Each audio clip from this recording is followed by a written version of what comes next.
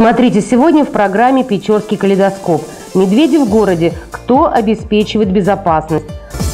Коми язык, светлячок и спортплощадка. Комментарий начальника управления образования. Кудесники Печоры. Формат конкурса изменится. Памяти Михаила Андреева. 10 лет после трагедии. Эти и другие новости смотрите сегодня в 19.30 на канале ЮТВ в программе «Печорский калейдоскоп». Повтор программы завтра в 19.00 на канале ТНТ.